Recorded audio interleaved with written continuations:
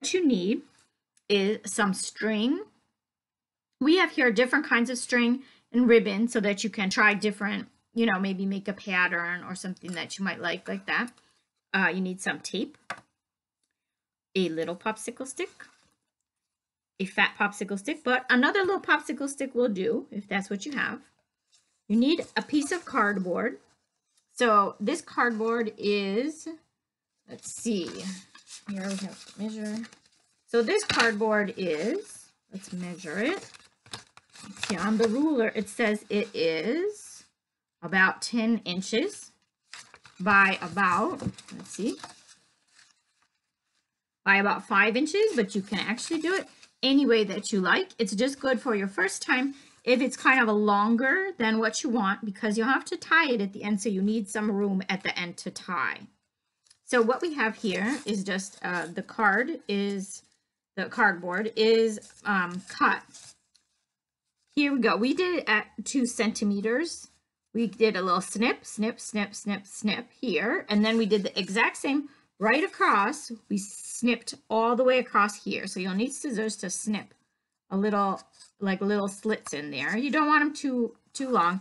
See, I'll put it up to the camera so you can see they're not very long. All right, and so what you do is start by, you tape your string or yarn on the back. So it's taped to start off. Now this is gonna be the front. Then what you're gonna do is go across into the slit that's directly across from the one that you started with. And then you go behind and come back out on that slit.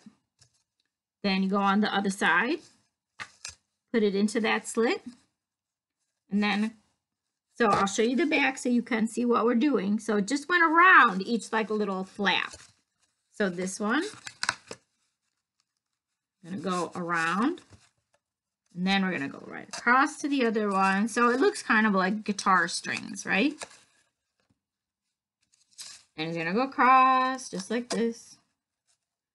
And back around behind. And back out. And we're almost done. There we go. Okay, so now it's all started. And if you, you want to snip off this end, if it's going to get in your way, you can do that and just snip it. Okay, so now we have this, so we are ready to weave. So let's start with this little, little light, this blue uh, one. And interesting to start weaving is this kind that has different colors, if you have that, because it'll make a more interesting pattern here.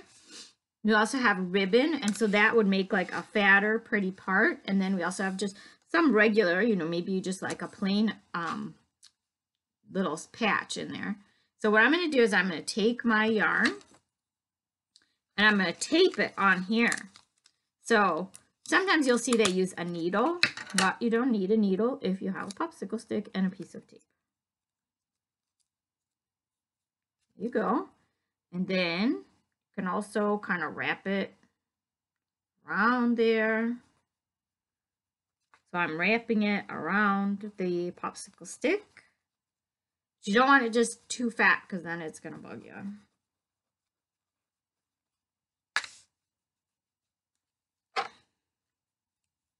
It's even pretty on the popsicle stick.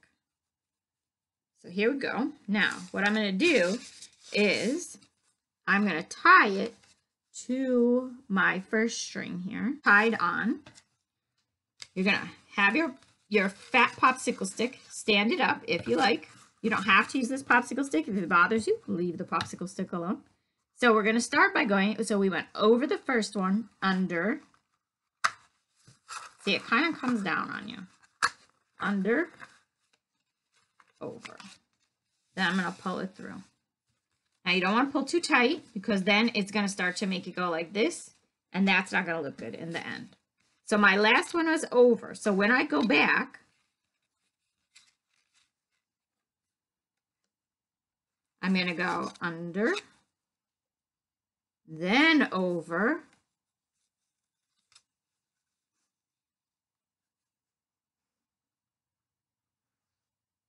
then over and under. So it'll always be opposite of the one that you just did.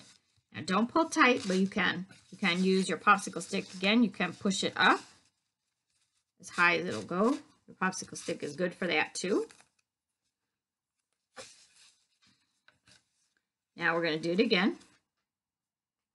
So our last one, we're going to look. Our last one was under. So we're going to go over, then under this one.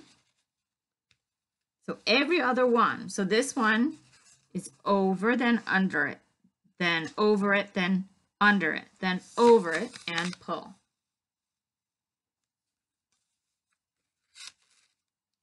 So now we're going to go back.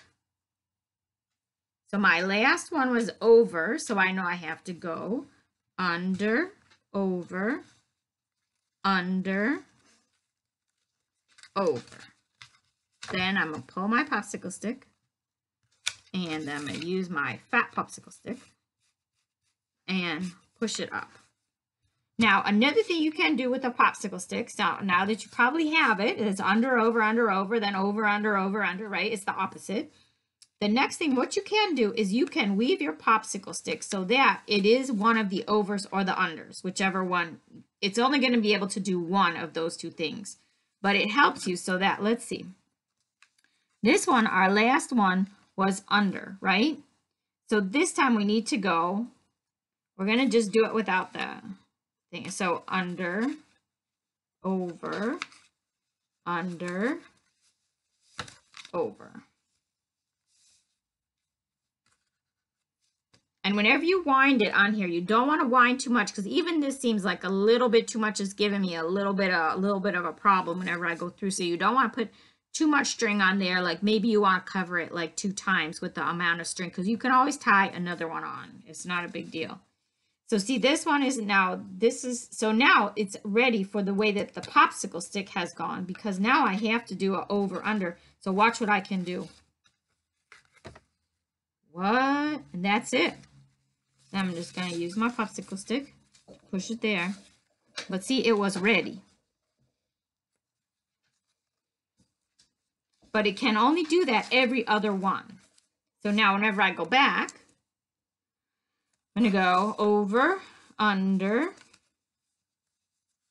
over, under. Here we go. I'm going to pull it. So now I'm going to lift it back up again because I know that that's the one. So what you can do is you know that it's whenever you're going this way. So you can draw an arrow on your popsicle stick so that you know that it's when you go that way, you can use the popsicle stick to speed you up. So here you go. Then all you got to do is just throw it through there. That's it. But going back, you always have, so every other one is the easy way, right? So now let's, let's go back one more time. I'm to show you that one more time. Over, under, over, under, here go pulling it through. And see how nice the different colors are coming out on your on your weaving. So it, it looks like you did something fancy, but all you did was use regular yarn. It just has the different colors in it. Now I'm going to lift it up. And then all I got to do is just throw it through. That is super easy. Okay, now I'm going to change my color. So I'm going to cut this off. And then I have to, I can either keep it, I can either unravel it off of my popsicle stick, or if you have the luxury of having another popsicle stick, you could have that one ready, but I don't, so I am going to just rip this one off. Then I'm going to try to add the ribbon. I'm going to tape my ribbon on there.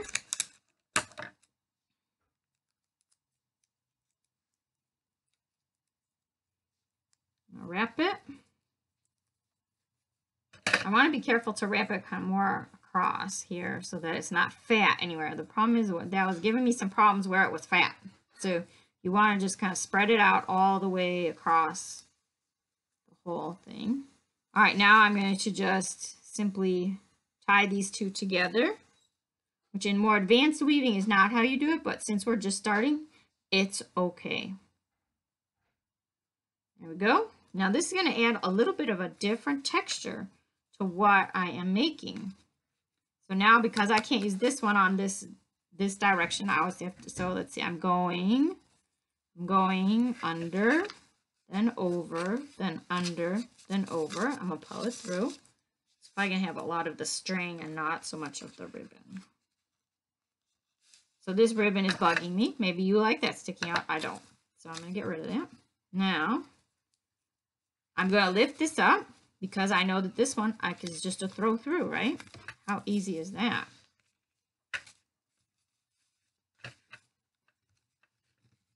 Now my ribbon is a little twisted there, but you know what? I think that looks cute. And that's the beauty of this, is that you do it however you think that it looks cute. Like see, here's another tail. I don't like it, but some people like might like that extra texture.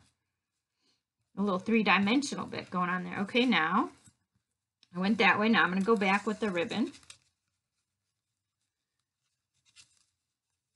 Over, under, over, under. There we go. Back with the ribbon. Now all I gotta do is lift it up because I'm going back this way. That direction. I can always use my other popsicle stick. There we go. One more this way. And back. And then I'm going to show you how to take it off. Of course, you would want to go further because this is like not enough. And you always want to make sure you're pushing it up, right? Because the tighter it is, the better it's going to look, the better it holds together. So one more time, I'm going to lift up. I'm going to push it through. Super easy. All right, now, now that I'm done with it, I push it up as far as I can push it, right? I'm to leave a little tail so that I can tie it. And then if I wanted to add other colors, I would just keep snipping and adding a color. It's just, just that easy. Okay, so then I'm to leave that out a little bit. Now, how I'm going to do this is I'm to take this off. Now, when you cut, so yours would probably, if you want to go as far as you can on this loom, you would go to about here because you're going to have to tie these together. So you want to leave enough for you to be able to tie without a problem. So what I'm going to do is I'm going to only cut two at a time because that is what I'm going to tie. If you cut them all at once, you're going to have a mess. Everything you did, you're going to cry because it all will fall apart. So here we go. I'm going to tie one knot there. So it has like a little thing. I'm going to tie. I'm going to cut these.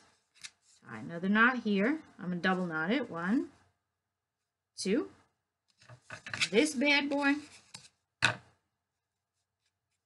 going to kind of get tied to this one. One, two. Okay, now I can take it off this.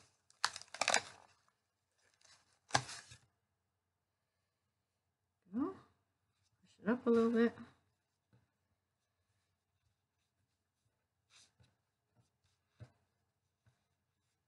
Okay, so I just made this tiny little piece, but yours, of course, would be longer, or you can just leave it on this if you want and then hang it up. But you can see that you already have like what looks like almost like a little piece of fabric that you made.